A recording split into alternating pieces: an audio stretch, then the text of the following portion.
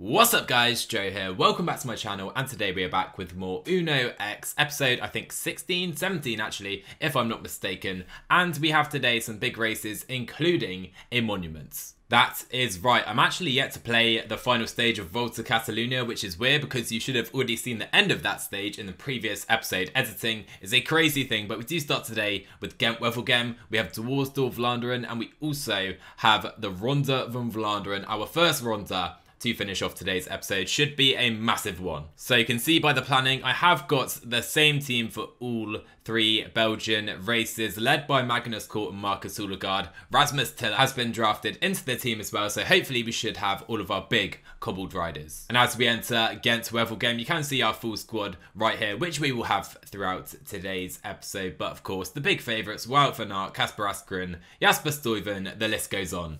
Jonas Vingegaard is always in the breakaway at the Cobble Classics. That doesn't change here today. You can see his comrades. So 70k to go. We are still up front in the breakaway. The Peloton are chasing though, and you can see only 47 riders in this group. The tempo is on. We need to stay well and truly in position. You can see some of the riders that have been dropped. It seems all of the favourites really are still to the front. Oh, and not the time to puncture for Nils Politt, and not the time to fall for Anders Garset, who falls all by himself. I doubt he is getting back in, or back to the front of the race at least. Oh my word. Now Vingegaard crashes. I literally just tried to attack from the rest of the breakaway. Hopefully he can get up in time to stay with the peloton. He just about does that. Unbelievable stuff. Now we have just five riders at the front. And so the pace has stopped a little bit in the peloton. Martin Laas is to the front. So I'm going to put in a little dig here with Rasmus Tiller. We catch the remnants of the breakaway. Hopefully we can find our way through. And we do. Rasmus Tiller is now at the front of Gent Wevelgem. Still, we have 48k to go, but lots of hills. Hopefully to extend this lead. And so now Ineos Grenadiers are to the front. Only 40 riders again are in the chasing group. Tiller can grab some water and hopefully we can hang on for as long as possible. Let's give the Norwegian champion a chance. And of course, this is a very unlikely move to come off for Tiller. He's tiring already 30k to go now as we approach the Kemmelberg for another occasion. But it does mean we don't need to do any work in the group behind the likes of Quickstep. They need to use the likes of Yves Lampaert on the fronts. And now we're seeing riders attack up to Rasmus Tiller. We're probably going to sit on these guys. I don't think I'm going to work with them. And I think the best tactic probably is just to try and set up Magnus Cort for a sprint. And you know what? Rather than dragging the likes of Van Poppel and Laporte back in, could I maybe just try and bridge this gap with Magnus Cort, Hofstetter and Laporte? They are going to try and follow. Let's make it a slightly bigger attack for Magnus Cort. Make sure we do get back on to Clay's Stuyven as well. And is this group going to go now? I'm not sure sure maybe I should try and bridge with Hoelgaard, follow Bystrøm to the front of the race, but maybe this group of 15 have gone. And so we are going to now have to follow the wheels with Magnus Cort. I think the group with Hoelgaard in are probably not going to get back on right now. I'm not going to do the chasing myself. Of course, we're just going to follow the likes of Sagan at the front, and that is what we're doing for now. I think this is probably the best tactic rather than trying to get our teammates back in. So I am going to follow Wout van Aert. He led us to victory, of course, at Omloop Het Nieuwsblad in a previous episode, and really this gap behind is not going to be closed at all as Kasper Asgreen attacks. Only 4k to go right now. We need to be very aware. We have Van Baarle in the group, Moscon as well, Laporte. I think Van Aert is probably the wheel we want. We're going to do our best to stay there. And we're there right now. Asgreen doesn't quite have a big enough gap. It's a, almost a replay of Omloop Het Nieuwsblad right here. But Gianni Moscon this time trying to catch Kasper Asgreen, we're still on Wout van Aert's wheel into the final kilometre under the Flamme. Let's go for the line. Do we have the space to come around? We don't have the speeds, I'm afraid, this time. I went too late and Wout van Aert is going to win in Wevelgem. We're going to get a sixth place today. Oh, I just went too late there in the sprints. Uh, maybe I should have kept Hoelgaard there, but to be honest, I think I just went too late in the sprint. I was addicted to trying to stay in Van Aert's slipstream, and we're never going to beat him when he times his sprint like that, even with that great day. Sixth, probably the best we could have done. And next up, we do actually have our first objective in a little while. Top 5 at Dwars door Vlaanderen. Can we go and get it? Same team like I mentioned, and today it's Peter Sagan starting as the favourite. A little drop down from the start list of Gent Wevelgem, and hopefully that top 5 is on the cards. Oh my word, I've had so many graphical issues, guys, I cannot even tell you, but finally we are underway at Dwars door Vlaanderen. Not quite sure what is going on with my PCM. Let's try our luck and try and get Rasmus Tiller in today's breakaway. I'm not sure he'll be allowed, but if we can get him up the road, would be perfect. And to my surprise, we are allowed. Rasmus Tiller is up the road in today's breakaway. We have Labadie here with us. I think probably a new gen. Kevin Razor is here as well. And Rasmus Tiller by far the strongest rider of that group. So we're down to 60k to go. Tiller still up the road. We haven't had any attacks really from the main peloton. And to be honest, we are getting quite close to the line. Tiller, if we can get these guys working with us, could play a key role today. The kilometers are ticking by right now. It's not the most kind of selective version of Dwars Vlaanderen. and we don't have have a plethora of climbs and of course cobbled sectors as well, uh, which does mean everyone is still looking pretty good and in our team. And I do think we'll have quite a lot of riders probably sprinting for victory. So we have 21 riders at the front of the race. And you know what? I don't think Tiller is going to be able to hold on. I am going to put some riders to the front to really try and set a rhythm. Widerberg is caught behind. We can do without him because we have so many good riders. Laporte is behind. I'm sure these guys will come back on. The group behind them, though, may struggle more. And this is the group we definitely want to keep behind as well. As, of course, these guys if we can. So we're down to 39 riders actually. It has been quite selective. Tiller still at the front with Labadie. I haven't really been working. Um, I quickly changed my mind. We have Sam Bennett and the like in this group. We're not going to pull him to victory. Instead, we're just going to try and follow for the moment whilst Tiller is up the roads. And so Tiller is going to be the final rider caught from today's breakaway. And as he is caught, I think we need to try and change tactic just a little bit and maybe try and launch some attacks up the roads. So 14k to go in Dwars door Vlaanderen. We still have 28 riders. Bennett is here. Sagan is here. We're not going to win if we take these guys to the line. We definitely need to try something. And here we go then. 10k to go. Peter Sagan is launching some attacks. We have Van Moer as well trying to launch something. Let's try and follow with our main riders. Hopefully we can get away with a smaller group. Dylan Groenewegen is still here. How is he still in this group? 10 riders off the front, but again, comes back together. So let's slow it up briefly. We are about to hit some cobbles, and I think let's try an attack with Marcus Hoelgaard right now. He can get in Sam Bennett's wheel. Can Magnus Cort Nielsen, Yves Lampaert maybe. Let's try and get away with Marcus Hoelgaard. We're probably not going to go to the line. We have to give it a go though, surely. Oh, and look at this. Magnus Cort is following Lampaert. We have Sagan behind. Pidcock as well. Oh my word, this is a perfect scenario. Perfect scenario. Let's get Magnus Cort in Hoelgaard's wheel. We have six riders off the front and only 3k to go. Moscon is here. Sagan is here. Lampaert, Pidcock, few more coming back on. Sam Bennett is back on as well, but I think he's going to be a little bit tired, is he? Hoelgaard is tired as well, though, coming into the final kilometre of Dwars door Vlaanderen. Can we sprint for victory here with Magnus Cort Nielsen? We're gonna try right now. Sagan is coming. Moscon is coming. Sagan looks so, so quick though. But so does Magnus Cort Nielsen. And I think we are going to take victory here at Dwars door Vlaanderen. Let's go. Magnus Cort Nielsen. What a man you are. When there's Magnus, there's a way. What a race that was. We attacked at the right time, really, in that finale, and we just about had the positioning. Marcus did the lead out, and Magnus did the finishing job to Peter Sagan of all people. What a sprint that was. And that also was the perfect preparation for the big one today. Ronde van Vlaanderen, the big monuments. Can we maybe, maybe win our first monuments with Uno X. Of course, we didn't have Milan San Remo earlier this season. We missed out on a wildcard there. We missed out on all the Italian races, for a matter of fact. And could this be our day? Oh my word, guys. What a start to the Ronde. Marcus Hoelgaard, who's been a domestique really throughout the Belgian Classic so far, working for Magnus Cort, gets a plus five day. He's been targeting this race, like I mentioned. We have Magnus Cort focusing more on Paris-Roubaix, so uh, that should work out nicely if we can get a plus five there as well with him. But here,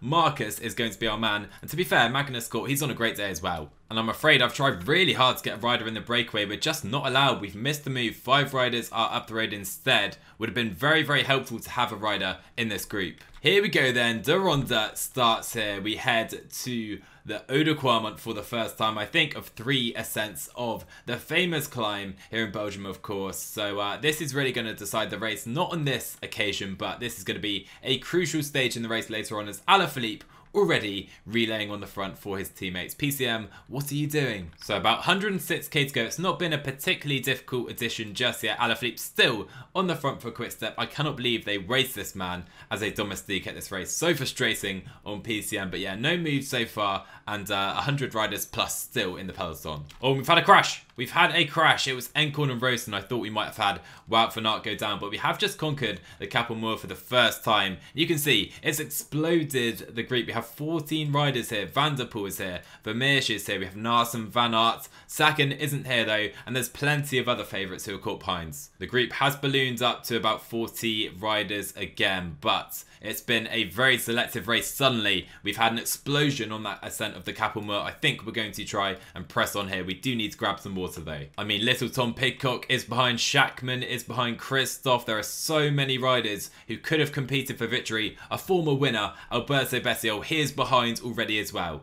Pressing on again, 68k to go. We're controlling the Ronda right now. This is so cool to see. A pro team on the front attacking the race. Here we go then, approaching the Eau for a second time. We have just had a few attacks. I think though, we still have the original breakaway only at the front of the race. Ressel is done. Tiller is done as well. And Anders Garset leads the peloton onto the Eau. And here comes Wout van Aert. Here comes Wout van Aert absolutely cruising right now. Are we going to have have to unleash Marcus already. I don't really want to. Let's put him up to maybe 88 just to make sure we stay in touch with Van der Poel and Van Aert who have cruised up that climb, like I said, and we are back in touch. That's perfect. And we have 20 riders at the front of the race. Trentin, Stybar, they're caught behind. I'm pretty sure they will come back on. Onto the Paterberg we go. And we're really attacking this race right now. I'm absolutely loving it. I don't know if you guys can tell. Let's press over the top with Magnus Cort Nielsen and see who can follow. Let's hopefully see the carnage we're creating behind us. GVA is here, and these guys are really struggling to keep in touch. As you can see, we have stretched everything out. so we have 11 riders at the front, I think. After that, I'm pretty sure some of these guys, again, will come back on. But the energy they have to spend to do this is absurd. We have 10 riders at the front of the Ronda, and attacks from Hofstetter and Van Baarle. Oh, and look at this. Van Aert and Van Baarle have gone. I'm trying to follow with Magnus Cort Nielsen. To be honest, he doesn't quite have the cobble ability to follow those guys. I don't want to spend Haudegaard just yet though. I'd rather try and relay with the likes of Stuyven and Van der Poel on my wheel just so Haudegaard can conserve that little bit extra at this stage of the race. 40k to go and the race is absolutely everywhere. So this is the last we will see of Magnus Cort Nielsen at the Ronda at the front of the race I believe. And there we go. There we go. Haudegaard is back to the front. Nine riders are here. Our job is to follow every single attack right now. And I've actually failed to do that. You can see we do have Dylan Van Baarle just up the road about 20 seconds. I'd rather be in this second group on the road though. And you know what? I think we can swap these guys around. Let's put Haudegaard on the back of the group, Magnus Cort can do the relaying for him instead. And we need to try and conserve a little bit ahead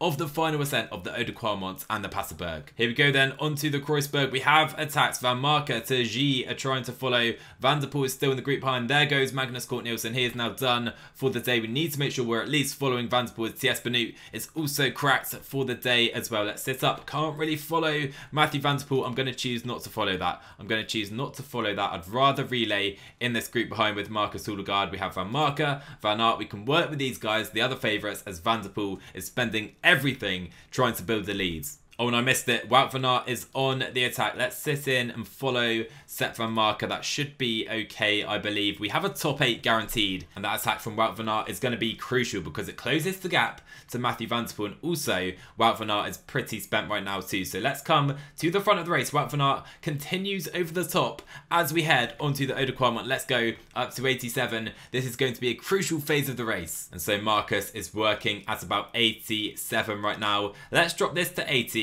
I'm not sure we can catch Wout van Aert by ourselves. Let's see if we can drop anyone else in this group. Can I maybe attack up to Wout van Aert? Let's try a little one with Marcus Haudegaard. It seems everyone is able to follow. We have seven riders still at the front of the race as Senechal, he is gone for the day and Quickstep have no one left at the front. Let's try and come to the front of the group. They're ahead of the Paterberg. Oh, here goes Wout van Aert. Here goes Wout van Aert entering the foot of the Paterberg. And this is not ideal because I'm going to be so far to the back of the group entering the climb. Let's come to the right hand side, take the inside of the corner. And that worked quite well, actually. Let's try and get to Wout's wheel if we can. Jasper Stuyvens will have to do. Come on, let's survive over the top and then we maybe have a chance. As Stuyven cannot follow. Stuyven cannot follow Wout van Aert. Let's take the wheel of Matthew Van Der Poel. We are pretty cooked as well, but it looks like we're going to have to work with this group behind if we can stay here. Oh, and we can't hold the wheel. We cannot hold the wheel. Matthew Van Der Poel is gone. Turgis is gone, and I think the podium places are now gone. We're going to have to sit on this group for a little bit. Stuyven, Vanmarcke, and Dylan Van Baarle. And look at Wout van Aert. Here's just different level, guys. We have the plus five today. We are going to catch Turgis and Van Der Poel, so hopefully a podium is doable, but Wout van Aert looks to be soloing to victory. So you know what? Wout van Aert is only 10 seconds up the road. This race is not over just yet. Let's try and maybe play some games here. We're Uno X. We're not the favourite in this group. Marcus Houdegaard, look at the riders he is around. Let's try and play some games follow the wheels. We're not going to work. We will settle for this position if they attack us. Let's pop that gel. 3k to go. Is Wout van Aert going to lose this race? I think he is, you know, as Sep Vanmarcke is on the attack and he has caught him. I'm following Matthew Van Der Poel and we are staying here. So De Ronde is going to come down to a seven rider sprint. I'm following Matthew Van Der Poel with Marcus Houdegaard. Do I go for the jump? Look at that acceleration by Matthew Van Der Poel. Surely we cannot match it. It doesn't seem so. Nowhere near. Oh my word. Wout van Aert almost took it nonetheless. And Jasper Stuyven is going to win the Ronde ahead of Turgis. We finished top five, but so good to be competing with these massive, massive riders in the world of cycling. Well, well, well, Markus Houdegaard in the top five, competing for victory in that sprint in the Ronde. Who would have thought it?